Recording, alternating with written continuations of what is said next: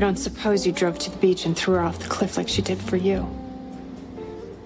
You do realize that if Rose starts talking to her friends, things could get messy for you. And me. What am I supposed to do, Jolene? Make like a good little felon and hop on the next mule to Mexico. What about you? Keep my eye on Rose and the rest of the shiny, happy people so they don't spill anything to your old pal, Ray Foley. This is the most appropriate gift you ever gave me. A two-headed snake. I never meant to involve you, Jolene. But you did, Billy. A long, long time ago. Did you come back for this? No, I didn't. Well, at least you're not an Indian giver. Get it? It's an Aztec wall hanging. It was supposed to be us, Jolene. Get out of town.